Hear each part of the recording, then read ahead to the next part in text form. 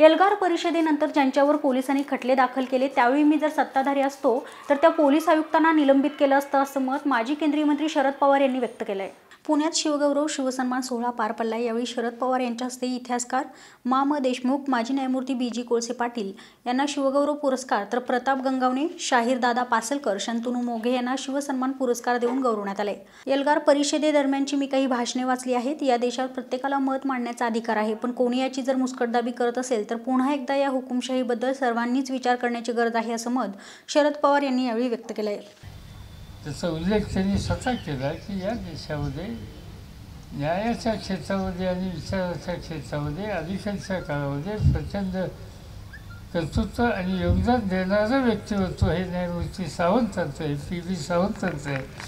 त्या पी बी सावंतांच्या बरोबर त्यांचा विचार खाली समाजामध्ये पोहोचवण्याच्यासाठी आज खऱ्या अर्थानं काम करणाऱ्यांच्यामध्ये कोळसे पाटलांचा उल्लेख या ठिकाणी करावा लागेल. त्यांनी सांगितलं एल्गार परिषदेच्या संबंधी.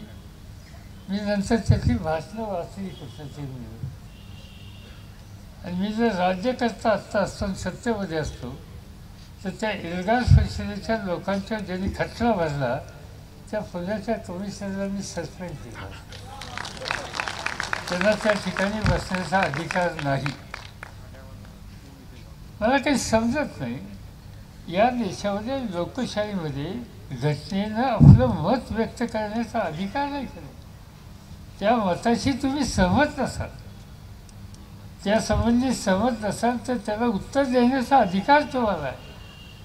पण अशा प्रकारची भाषणं तुम्ही केली तशा प्रकारची भाषणं केली आणि त्याच्यासाठी लोकांना महिन्यात महिन्यात दाबून ठेवण्याच्या संबंधीचा विचार त्या प्रयत्न त्या ठिकाणी केला जातो. आणि त्याचं सवय पुन्हा पुन्हा हे केलं जातं. सुप्रीम कोर्ट आहे या देशामध्ये म्हणून बरं आहे. त्या कोर्टाने निकाल घेतल्याच्या नंतरसुद्धा जे काही वेळेला काही अधिकारी काही वेगळी कर्म लावता येतील का आणि काही वेगळी व्यवस्था करता येतील का या प्रकारची पावले टाकतात. हा सुरासर सत्तेचा गैरवापर आहे.